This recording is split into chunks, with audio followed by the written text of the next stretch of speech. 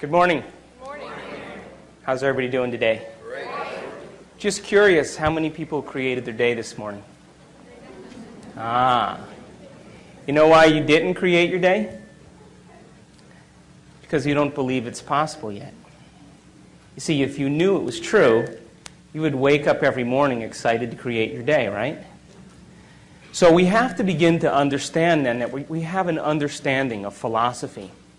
The movie was great philosophy. It's what I call dinner conversation. It's got a lot of principles of quantum physics and neuroscience and biology and genetics and receptor site physiology. All of that information is really great. But we have to begin to put the rubber to the road. We have to take this information in some way, apply it to our life, right?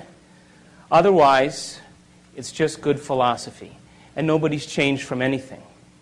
So today I'd like to spend a little time with you and see if we can make some sense out of the world of quantum physics and your mind.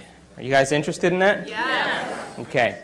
So I was leaving my, my uh, office a couple months ago, and, and uh, my, my staff member handed me this uh, sheet of paper, and she said, listen, you have to read this, you know, quick, and I'm on my way to catch a plane. And so I grab this piece of paper, and it's this woman who decides to create her day. And she says, Well, I never considered myself a special person, and uh, so I'm going to create my day, and I'm going to ask for a sign without a doubt that lets me know that I'm special, and I want it to come in a way that surprises me and that leaves no doubt in my mind that I made contact with the field. So she's driving down the road up this five mile incline at sunset. And as she's driving up this road, a bald eagle flies in her car, lands on her dashboard, spreads its wings out, makes eye contact with this woman. She pulls off the side of the road, and the eagle flies out the other window. And I said to my office uh, assistant, You email that woman back and you tell her if she has any doubt now that she's special, we need to talk. Yes? So, how come nothing new ever happens in our life? If I mean the quantum law works, and we know that it does, then how come we keep having the same relationships or the same jobs or the same circumstances in our life? How come it's so routine and predictable that it seems that Newtonian physics is the law? Because we haven't mastered this idea called observation. So this, this one particular uh, researcher says, well, who do I know that, you know, that knows how to pay attention really well? So he gets on the phone, he calls the Dalai Lama, and he says, can you send me your eight best guys? I mean, I want to study these guys, and, and I want to see what happens in their brain when they're focusing on a single-minded thing like compassion or divinity or unconditional love. Now, these guys, by the way, had over 40,000 hours of focused meditation. They spent over 40 years practicing. While you were laying on the beach, they were focusing on single minded thoughts. and then they said, let's take a control group, just a group of people that, that are just average people, and we'll, we'll use the monks and we'll, we'll, we'll teach them how to do this thing called focused concentration, what, what science is now called paying attention. By the way, the average human being loses their attention span six to ten times a minute.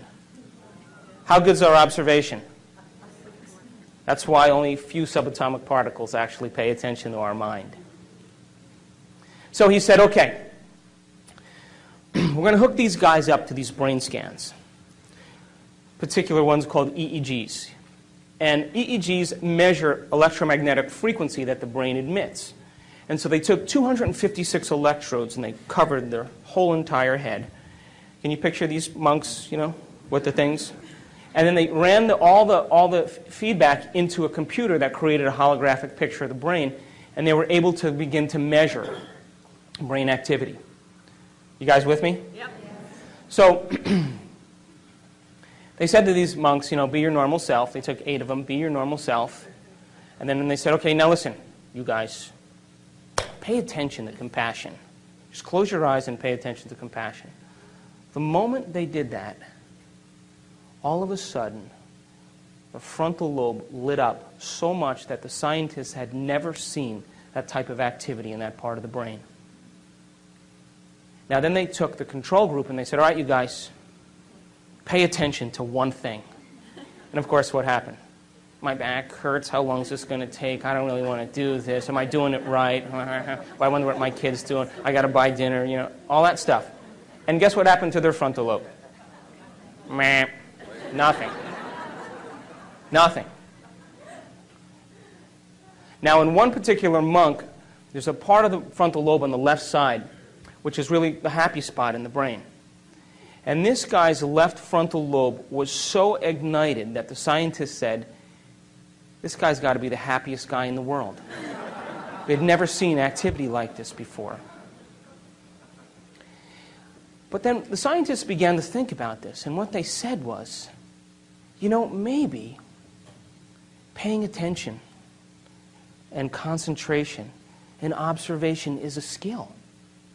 Just like tennis or golf, and you can improve it if you keep practicing it. Now think about this. The brain is the instrument that we use. It's the machinery for us to process thought. How many people accept that? And it also has some automatic processes that'll give, that allow us to function. But for the most part, it's the greatest area in the body where there's the greatest number of neurons clustered together. And where you have the greatest number of neurons clustered together, you have the greatest intelligence. So the brain is the central clearinghouse of intelligence. Mind, by the way, is what the brain does. Mind is the brain in action. It's the brain at work. When we can measure a working brain, we're studying mind. You guys with me? Six to ten times? Hello? You guys with me? So mind is when the brain is in action. So when we're using functional brain scans and we're studying how the brain works, we're studying this concept called mind. You understand? Yes. Then here's my question. If the brain is the instrument for intelligence or processing thought, and mind is what the brain does, if you can improve the way your brain works, who's doing the improving? And it's that nasty 13 letter word called consciousness. That's the only solution. Consciousness is our self aware, free willed individual that is really not the body, is not the brain, and is not the mind. As a matter of fact, consciousness is what manipulates the brain to produce mind. You understand that? The brain processes 400 billion bits of information every second. You know that? I said it in the movie.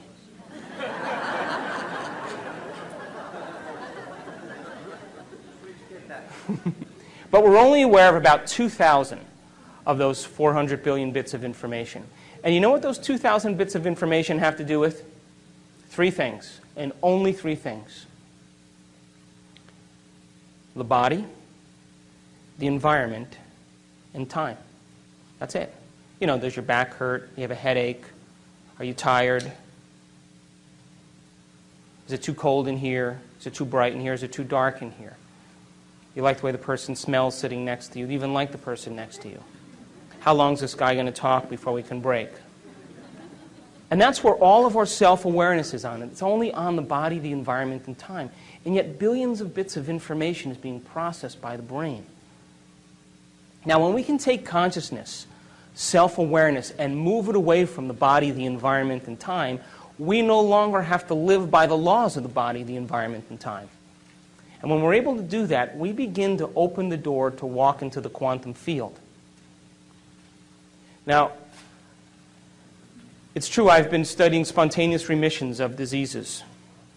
It's kind of been my interest for the last seven years. People that have had um, cancer and diabetes and um, emphysema and endocrine conditions, thyroid conditions, um, uh, heart disease, high blood pressure, high cholesterol levels, rare genetic disorders that even medical science didn't have a solution for. And these people all of a sudden became healthy. And they weren't all Roman Catholic, and uh, they all didn't believe in the same God. They, didn't, uh, they weren't all vegetarians. Uh, they didn't, uh, not all of them uh, used crystals. As a matter of fact, none of them did. they didn't trust the astrology charts. None of that was in common amongst these people. There were four things that I found in common amongst every person that had a spontaneous remission. Four major things and two minor things. The first thing that was in common with every person that had a spontaneous remission was that every person accepted and believed that there was an intelligence that lived within them. Did you hear what I said? Within them. That somehow was giving them life. There was some spiritual aspect of themselves that didn't exist. Where does religion always say that is? They didn't say that. They said, I'm connected to some mind that's so much greater than my mind. I'm connected to a, a, a force that's so much greater than uh, me, a will that has so much more will than I have, and loves me more than I even love myself. And they said, if I could just make contact with this intelligence, it would do the healing for me. Does that make sense? So what they said was, they said, you know, I'm riding on the back of a giant, and I just got to learn how to whisper in its ear. Now, I want to demystify this a little bit, okay?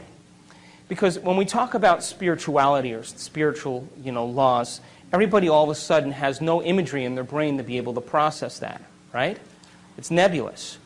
But so let's demystify that. Do you know that that intelligence gives life to every human being on this planet? It, gives, it holds order in the universe, and you're connected to it. It's the same intelligence right now that's keeping your heart beating. Your, par, your heart bumps, uh, pumps over two gallons of blood a minute, over 100 gallons of blood an hour. It pumps over 100,000 times a day through 60,000 miles of blood vessels. Three billion times in one lifetime. No repair, no checks. It does it independent of your moods, your likes, your dislikes, your opinions. It continuously gives you life. Now, are you thinking about doing that? Or is there some order intelligence doing it for you? It's the same intelligence that's digesting your breakfast and breaking down proteins and carbohydrates and fats into simple products so that can be reassembled for regeneration. And we don't even think about that. See, you and I, free willed individuals, get a free ride. And something loves us enough to continuously give us life. It's the same intelligence, by the way, that's making 10 million cells every second because you know you lose 10 million cells every second. Whoops, you just made another 10 million. Were you thinking about that? Or is something loving you enough to give you life? And that in every single cell in your body, out of the 100 trillion cells, one cell goes through 100,000 chemical reactions a second. Now multiply that by 100 trillion. And if you don't think that we're connected to a greater mind, oh, we need to rethink it. And that there are little enzymes that zip through your DNA. There's 3.2 billion nucleic acids that make up DNA in one cell. As a matter of fact, geniuses, if we took one DNA, you know, the whole strand of DNA out of one cell, and we straightened it out, it would be six feet long. You have enough DNA in your body to go from here to the sun and back 150 times. So they said, something has assembled who I am. It's got a greater mind than I do because I don't know how to do any of this stuff.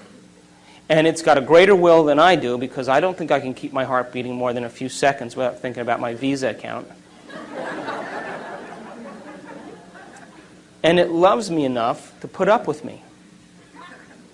And they said, I gotta just surrender. I gotta get out of the way enough to let this thing do it for me. I just gotta direct it and then get out of the way. That was the first thing they had in common. The second thing they had in common is that they all said this.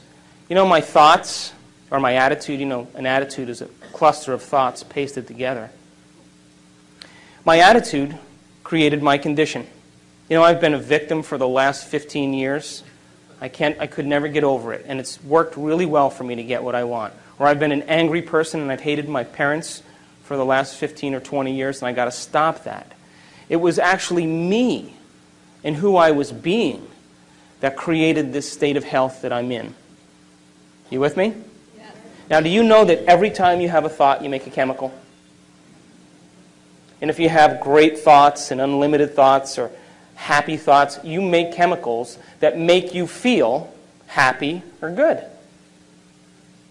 And if you have negative thoughts or bad thoughts or contracted thoughts, you make chemicals that make you feel bad. Does that make sense? So imagine, right? You, you, you have an insecure thought. What's the next thing that happens? You feel insecure, right? Now here's the bad news. The moment you start to feel insecure, the next thing you do is you start to think the way you're feeling, which then makes more chemicals so that you can feel the way you're thinking and think the way you're feeling. And we get caught in this loop between thinking and feeling. This is the human drama. And what ultimately happens, listen to this, is that feeling becomes the means of thinking. And what that really means, then, geniuses, is that mind is now immersed in the body. You're not thinking as a mind. You're not thinking as a conscious being. You're thinking as a body because body is determining the outcome based on a feeling. So we call that a state of being. So the person can't think any other way than the way that they feel. So they wake up in the morning and they feel bad and they start to think bad and then they start to feel bad and they spend the whole day perceiving their day based on a feeling. Now, the body should be the servant to the mind.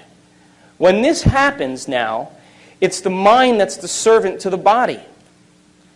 Quantum laws still apply? Absolutely, which means then that the person can only live out their genetic destiny. Nothing new will ever happen. Am I making sense? now, the third thing they had in common is that they all said this You know what? I have to reinvent myself. I got to become somebody else. I can't be this miserable victim for the rest of my life. I got to become somebody else. Now, the moment they did that, they started to ask themselves some really important questions. Questions that most people don't have the time to think about. Questions like What would it be like to be a happy person? Who do I know in my life that's happy? What would I have to change about myself to live in joy? Who in history do I admire that was great? And at what point did I lose it and believe this is who I am? And you know, the moment we ask those important questions, guess what part of the brain turns on? Frontal lobe. You know why? Because when we're running automatic programs that determine who we are, we're using the rest of the neocortex. It's all based on association memory. When we stop those automatic programs, it's the moment when you ask those important questions, the brain puts the brakes on and has to reassemble a new way of firing to produce an answer to that question different than the way you've always thought. You understand that? So they put the brakes on to the automatic programs and they said, what would it be like? They started to speculate because the brain, the frontal lobe is the speculator. It's the part of the brain that likes to examine the what ifs. And they started to gather information. They started to read at the same time as contemplate about a future. And their brain started to reorganize itself in a new way. You with me? So, do you think that you can change the circuits in your brain by thinking about it? Do you? So I did this experiment a little ways back. They took these people who uh, never played the piano before. You guys with me? And they separated them into four categories. And they said, listen, we're going to scan your brains before you learn this, these, uh, these exercises, and then we're going to scan your brain after. And all you have to do is show up for two hours a day in practice for two weeks. Okay? And just follow the instructions. And we're going to hook your brain up to these sophisticated scans, and we're going to see what happens before and after. So they got with these people, and they said, okay, first group, here's the scales and here's the chords. They're one handed exercises. Practice them over and over again. Keep playing them. So they played every single day, two hours a day for two weeks. They scanned their brains before, they scanned their brains after. After two weeks, guess what happened? Whole new set of circuits lit up in their brain that never lit up before. That makes sense. You learn something new. Learning is making new connections. Repeating it over and over again is sustaining or maintaining those connections, and that's called memory. So they memorized what they were doing by physically practicing or personalizing what they learned. Make sense?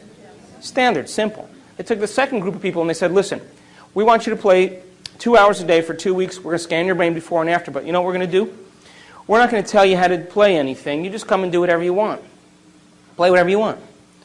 So at the end of two weeks, guess what happened to them? Nothing. You know why? Because they couldn't remember what they had learned the day before and they couldn't remember what they played the day before, and they, they had no structure. They got no instruction and no knowledge to be able to apply it to make some steady circuits. Still with me? Make sense? Took the third group of people, they said, listen, don't even show up. don't even create your day. Same thing. Nothing happens. Last group of people, they said, listen, we want you to come two hours a day for two weeks we're going to show you these one handed exercises. But instead of you physically playing the piano, we want you to mentally rehearse over and over again those exercises. And we know you're going to get tired, so we'll nudge you and we'll keep you awake, but you practice for two hours a day and you keep repeating those. At the end of two weeks, they rescan their brain, and guess what happened? Same area of the brain lit up as if they were actually playing the scales. Now, you know what that means? They grew new circuits in their brain just by thinking about it, just by thinking, just by rehearsing. Now, every time we learn something new, we make new circuits in the brain. If you learn anything new, learning is making a new connection in the brain, new neurological connection. Memory is maintaining or sustaining those connections, keeping them alive. And the only way that we maintain and sustain connections in the brain is by repetition. Repetition allows the neurons to develop a long-term relationship. So these people, every single day, made it the most important thing. They gave up their social engagements. They gave up television. They said, I'm going to rehearse, I'm going to mentally rehearse the greatest ideal of myself every single day. And as long as I keep doing it every day, what's going to happen to those circuits? They're going to light up and become the more sustainable circuits to act as a platform of who they will become in the future. Am I making sense? Now, the last thing that they had in common, which I find the most important, is that during this process of rehearsal, while they were sitting down rehearsing who they were going to be, just like the piano players, rehearsing over and over again, they had long moments where they lost track of time and space. In other words, they became so involved with what they were doing that when they opened their eyes or they lifted up their eye masks or when they turned the lights on in the room, it was two hours later and it only seemed like five minutes. They were so involved with what they were doing that they lost the feedback of the body, they lost the feedback from the environment, and they lost track of time. And the moment that that happens, geniuses, that's the moment we walk through the door to the quantum field. And that is the moment, by the way, according to neuroscience, that we repattern and rewire the brain. And by the way, guess what part of the brain is the most active when we do that? Frontal lobe, because isn't it true that we're making thought more real than anything else in that moment? And because the frontal lobe is the orchestra leader, it has its connections to the rest of the brain. And what it does is it quiets down the association centers, the thinking centers. It quiets down the motor centers. You don't want to move, you get still. It quiets down the emotional centers. And the only thing that's real is the thought. And when we capture that thought in the frontal lobe, when the frontal lobe captures it, as, as we hold that thought there, what happens is the rest of the neurons in the brain will pattern and make circuits to capture that thought and reflect it as a footprint of whatever we're focusing on. Does that make sense? Because it's as if we're experiencing it. And when we make new circuits in our brain, by the way, do you think that we'll perceive things that maybe already existed but we never really saw? Do you think that's possible? Do you think that the person who lives practicing being a victim every day gets good at it? Turn that on automatically? Is it natural and second nature? And how will they perceive their world based on how they're wired? According to the law of a victim, a victim. Would you agree? Everything is a reason to suffer. Would you accept that? Simple quantum law, right? So if you made new circuits in your brain, do you think you may process or see things in, in your reality different because now you're wired to see them? Do you accept that? So if I put up a picture of a Monet on the screen up here, and I said to you, isn't that a beautiful picture of uh, what Monet painted? You guys would all say, oh yeah, that's beautiful. And then I took the picture down and I said, did you guys know anything about Monet? Do you know that he spent 44 years of his life teaching himself how to see things differently? And he thought that every person was too busy to stop and pay attention to light. And he loved light. He loved the light first thing in the morning, and he loved the light at sunset, at the twilight hour. And he said that the golden light of the twilight hour and the brightness and the opalescent light in the morning actually colored reality. And that he said, if I can capture this in my paintings and make things bright enough and capture light, maybe people will stop and look and see what they never pay attention to. And then he said, you know, the wisteria and the bridge are one and the same. I can't paint them separate. They're the same to me. And as he got older, he developed cataracts. And the cataracts were so thick that when he looked at the light, it diffused the patterns. So he began to more and more paint exactly what he was seeing. And the doctors urged him to have an operation, to do something to help him. And you know what he said? I worked too hard to see this way. Now, if I took that painting and I put it back up on the screen, would you see it differently? Would you agree that because you learned new knowledge and new information, you made new circuits to perceive what was already there but you never paid attention to? Yes. Reality is the same way. How about the wine connoisseur? A 1992 Cabernet Sauvignon Silver Oak Alexander Valley. Good bottle of wine. You take that and you give it to the wine connoisseur and he lets it breathe. He knows about tannins, he knows about alcohol content, he knows about oaky flavors, he knows about grapes, he knows about age, he knows about aroma and sweetness. You think his brain is wired to perceive what wine is all about? Did he pay attention through knowledge long enough period of time to wire his brain to perceive subtleties in wine so that he would enjoy every single taste in that wine? You take the person who drinks the screw off tops, you give him the 92 Cabernet, what happens? I don't taste any difference because he's not wired to. Do you understand? Reality is the same way. The reason that the movie is so great is because now you're paying attention to things that you normally never paid attention to. But do they exist all the time? If the brain processes 400 billion bits of information every second, is it possible that we're missing some of reality? Yes. Is it true? Yes. So now, science used to say that the brain was hardwired, meaning that it was, you know, wired so intently from genetics that you're going to be born a certain way, and then you're going to turn out just like your parents. and that's the end of the story. So it's a predetermined life, and you know, get what you can in the process. And now what they're saying is, whoops, we lied. It's not true. You see, the brain is hardwired. There's certain definite areas that are hardwired because the brain, human brain has been around for hundreds and hundreds of thousands of years, whether you want to believe it or not. It's been around for millennia. And this process of learning has developed the brain. Now, when the sperm and the egg come together in utero, right around the third month of life, the cells start to differentiate and we start to make neurons. And they start migrating north up to the skull.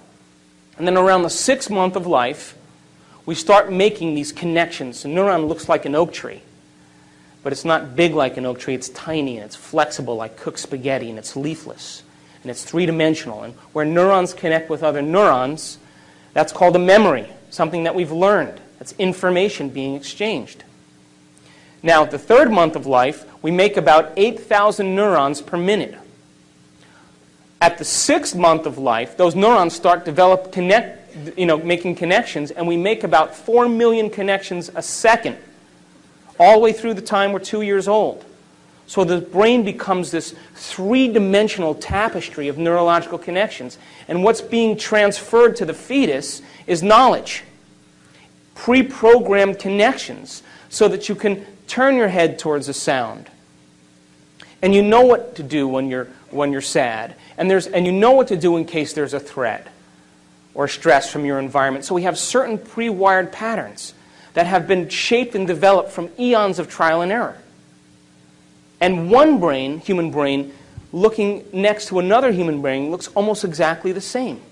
As a matter of fact, if I took two brains and unscrewed your head and placed them side by side, you wouldn't really tell who was who because the same folds and convolutions are similar from brain to brain. That's like your hand. Everybody's got a hand, right? It roughly looks the same. But then those intricate connections and patterns that form, those connections and circuits that form then, become the fingerprints of who we are. And we get specific traits, propensities, and characteristics that are inherent from our parents. And by the way, those are the things that they've learned. Those are the things that they've experienced. Those are the propensities and traits and emotional tendencies. So you may inherit your mother's insecurity and your father's anger. You may have your father's intelligence and your mother's creativity.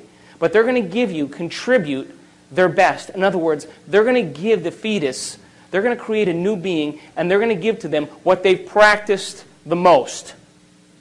You understand? Now, that's only, by the way, 50% of who we are. No one likes that, but it's true. it's 50%, that's it. The other 50% is up to us to begin to make our own circuits and our own connections. Now, there's only two ways that we make connections in the brain. Only two ways. The first way we make connections in the brain is from knowledge that we gain, information, philosophy. Every time you learn something semantically new, every time you learn a new bit of information, you made a new connection. Did you guys make any connections today? So learning is making those connections. So it would be like if I handed you a book on how to ride a bicycle. And I said, read the whole entire book because I'm going to test you in two weeks. Know how to change a flat tire, know how to tighten the spokes, know how to shift gears, know how to brake, learn about this mystical thing called balance and I'm going to test you in two weeks. And you would read that information and study it and repeat it till you did what? Repeated it enough till it was wired. Now it's being stored as a long-term memory. So that's philosophy, right? You're basically studying someone else's experience. And you are literally wiring your brain so that you can have that experience. Would you agree? Which, by the way, is the second way we make connections in the brain, is through experience. Experience is what enriches the brain. Now listen to this. Every time we experience something, every time we experience something new, when we're experiencing it, all of our five senses are immersed in the, in the process. What we're seeing and smelling and tasting and feeling and hearing, all of our five senses are picking up information from the environment and sending a rush of data back to the brain. And through these five pathways, this rush of data through five different ways causes neurons in the brain to fire and sting. And when they do that, they release these chemicals called neurotransmitters that make us feel a certain way. So the end product of an experience is called an emotion or a feeling. Still with me? So then, if an emotion or a feeling is the end product of an experience, then, if we keep experiencing the same emotions every day, what does that tell us? We're not having any new quantum law apply, apply to that? As a matter of fact, if you keep your mind on those same emotions, by the law of the quantum, you know, quantum realm, basically, we're putting our attention on something that we already know from the past. And what do we get? More of the same. So when we live by emotional propensities and emotional addictions, what we're really saying is my observation is on something that's familiar to me based on the past, and I will keep observing it to keep it intact so that my future looks just like my past. And people who say, well, you know, I don't want to, you know, I, am I'm suffering terribly, but I don't, I don't want to leave this relationship because it doesn't feel right. Which really means I'm too addicted to feeling to do anything else. Because the moment we give up the continuity of thinking and feeling, we break the addiction. All of a sudden, all the cells of the body, you know, who are used to getting all those molecules, all of a sudden go like this. what is she doing up there? She's no longer providing the chemistry to make me feel the way I like to feel. So they get together and they say, okay, well, let's send the message back up to the brain. Right? And all the cells send the message back up to the brain, and what happens? You start to hear these little voices, right? Go ahead, come on, get angry. Go ahead, come on, feel bad. That's because that's the body telling you that it's used to some chemical state. That's the body determining reality. And when the body determines reality, what it's saying is is that we are living based on some past addiction. So emotions and feelings are the end product of an experience. And, if, and when we experience something, the feeling that we have from that experience helps us to remember the experience better. Would you agree? Absolutely. Do you know where you were on 9 11? Do you know? You know why you know that? Because you remember the feeling, right? So the feeling helped you remember the experience better. So if feelings and emotions are the end product of an experience, and the person is experiencing the same feeling every day, what does that tell you? They're defining themselves from some past experience. Are there new experiences, geniuses, to have in the quantum field that have new emotions? Could you create a new experience that's going to produce a new sensory feedback to the brain that's going to have a new emotion? And that new emotion then will help you to remember that experience better? And so, can you picture in the quantum field future experiences that you would like to have that have nothing to do with survival? Yes. Nothing to do with pain, nothing to do with sexuality, nothing to do with success and power and control, but all those virtues that we secretly hope for, those are the end products of being able to experience something different than survival. But you see, we're so wired for survival that the human being thinks that what's happening out there is more real than what's happening in here. Do you know that it takes 17 years, according to the latest research, 17 years for a new piece of information to be implemented into the current system? So we're living by past paradigms. The reason you're here, by the way, is because you believe in something else. Is that true? Yes. And let me warn you, please do not wait for science to give you permission to do the supernatural. Let's go out and do it and then have science come and study us. Because if we do that, don't we make science the next religion? And then we have to live by their convention and their conformity? Why not go out and try it out, apply the knowledge, so have, to have a new experience, and then if you're able to do that experience over and over again, have science come and say, How do you do that? And you say, Come and study my brain. I'll show you how it's done. Does that make sense? So, experience then is the end product of when we apply knowledge. In other words, when you get on that bike and ride that bicycle now, wouldn't you agree that when you drive and you hit the curb and you fall and you skin your knee, are you gaining information from your experience? That your senses are processing it. And then you get back on the bike and you start to pedal and you get a flat tire. You have to get off the bike and you start changing the tire and you scratch your knuckle on the spoke. Are you getting more information? Help you understand what it is to ride a bicycle? Then you get back on the bike and you start to pedal up the hill. And oh my God, your legs are burning. Are you still learning from the experience of how to ride a bicycle? You're remembering that. Then you get to the top of the hill, and all of a sudden you go down the hill, and all the pain goes away, and the wind is blowing in your face, and your hair standing up, and tears are running off the sides of your face. You, is your senses processing more information? Are you recording that about the experience of how to ride a bicycle? And you start pedaling so fast that the chain falls off. So you got to get off and change the, bi- the chain. And as you're changing the chain, you put the chain back on, and then you wipe your nose and get your grease under your mouth. And then you smell that smell. Are you still learning? Are you associating now from the experience of what it is to ride a bicycle? So the richness of life is experience. So knowledge and information is for the mind and the brain and experience is for the body. And knowledge is the precursor to the experience. In other words, we're only limited by our knowledge. And when we can take knowledge and personalize it, we set ourselves up for a new experience. As a matter of fact, the whole reason to be alive is to learn something new, modify our behavior to produce a new outcome. That's called evolution.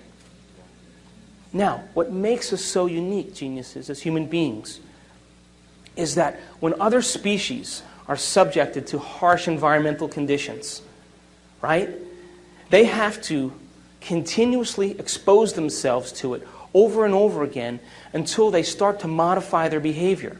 Thank you. And as they start to modify their behavior, after several generations, they may be able to change their genetics and produce a, a, way to acclimate or, or change as a result of that environmental stimuli. What's that called? Evolution, right? But that may take thousands of years. Human being doesn't have to do that.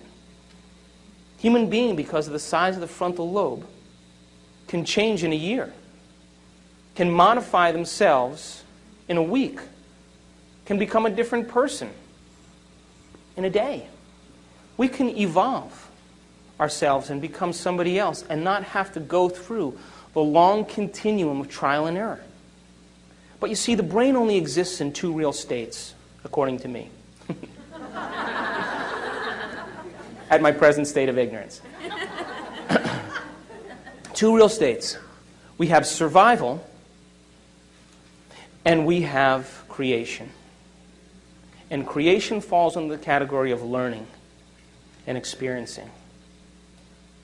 And survival falls under the category of responding to the environment so much that it then becomes, listen to this, it then becomes the environment that is creating our reality. Did you hear me? Because as the environment pushes the circuits in the brain and we respond to those environmental stimuli, the body becomes prepared for the threat or the stress, which then causes the brain to think a certain way, which then creates the same reality in the future. So we're these human beings with these big brains, but we're living in the rudimentary part of the nervous system that's based on survival. And by the way, 90% of the time that we're awake and aware, we're living in survival. You know, responding to the environment, allowing the environment to determine our internal state. And the, and the, and the confusion we have as human beings, you see, the present moment right now, is created from the thoughts of where? Right? So then the thoughts of now are creating what? So most people, though, they say, I'm going to sit down and create my. I'm going to sit down and create wealth. And they sit down for 10 minutes. They get up and they start looking in their bank account for the, for the transfer. And then they say, what? Didn't work. But you know, we Americans, by the way, are the most difficult audience to talk to. We go to South America, we go to Europe, we go to Asia. People accept this. But Americans are so desensitized to so much stimuli. They get, you know, 2,000 channels on their television. They have opinions about everything. They're into convenience. If your internet connection doesn't come up in 30 seconds, you're like,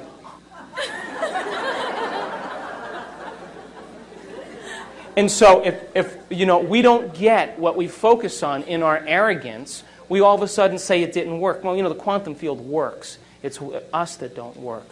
And as we begin to develop the skill of paying attention, we're holding on to an observation, by the way, independent of the environment, independent of our body, independent of time. And by the way, those are the heroes that we fall in love with, isn't it? Whether it's Martin Luther King or William Wallace, or Churchill, or any of those guys, you know what they said? They said, My observation matters. And I'm going to hold on to this thought, and I don't care how long it takes. And I'm going to hold on to this thought, and I'm not going to compromise it for anybody. Nothing in my environment is going to cause me to let go of my belief. I'm going to hold on to this observation, and I don't care what it feels like because I'm accepting this more than I'm accepting anything else. And you can do whatever you want, but this is what's more real to me. And when we have that skill of observation, don't you think that the observer is going to start getting on board? Don't you think that's possible? So we have to develop that skill. We have to develop that skill. And because we're so prone to convenience that when it doesn't show up the same day within a matter of moments, we discount its possibility. Why not fall in love with an abstraction? Something that you haven't experienced yet. But if you can put all of your mind into that abstraction, don't you think that that abstraction will be your future? Don't you think that's possible? And don't you think you'll wire your brain to be exactly what your future dictates? You see, we can't get anything in our life that we're not first wired for. You can't be wealthy unless you're wired for wealth. So once we're wired for it, implicitly wired, non declaratively wired, when we've wired it so much that we don't have to think about it anymore, that's the moment we are it. And that's the moment it takes no effort to have the side effect of who we are as a mind show up in our life. Does that make sense? I have a friend who's a millionaire. I went to lunch with him. He said to me, uh, Today I lost everything that I owned. Pass the ketchup. and I looked at him and I pushed the ketchup over there. And I was talking to me and I said, Jerry, aren't, aren't you upset? He said, What do you mean? I said, Well, you lost everything you, you know you owned. He said, What? He said, I am money. I I've made it thousands of times. I've made it a hundred times. I'm going to go make it back in two weeks. So the question is, who are we going to rehearse ourselves to be every morning? Can you rehearse in the morning your greatest ideal and activate those circuits? And as you rehearse those ideals for yourself and activate those circuits, won't they be the platform of who you become?